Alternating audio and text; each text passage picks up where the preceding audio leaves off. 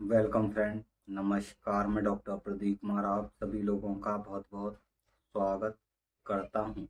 भाइयों, काफ़ी सारे लोगों के शरीर में आयोडीन की कमी हो जाती है, जिससे वो काफ़ी परेशान हो जाते हैं।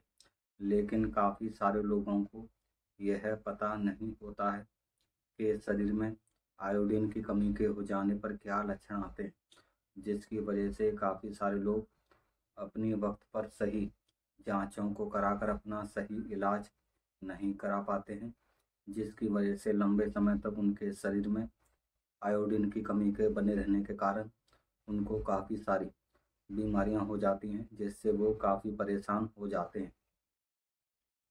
तो भाइयों, आज मैं आपको बताऊँगा कि शरीर में आयोडीन की कमी के हो जाने पर क्या लक्षण आते हैं। तो इस विषय में पूरी जानकारी मैं आपको इस वीडियो के माध्यम से दूँगा। तो भाइयों, इस वीडियो को आगे ज़रूर शेयर करें।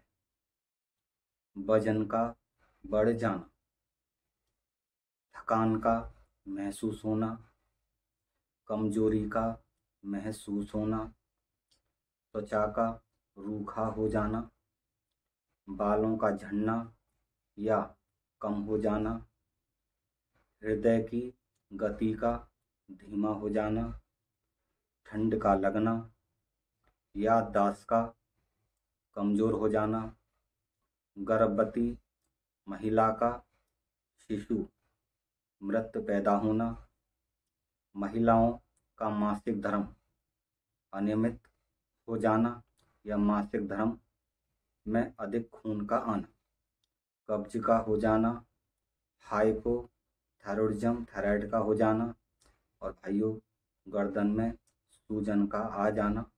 गहंगा रोग का हो जाना। तो भाइयों, शरीर में आयोडीन की कमी के हो जाने पर यह सभी लक्षण आते हैं।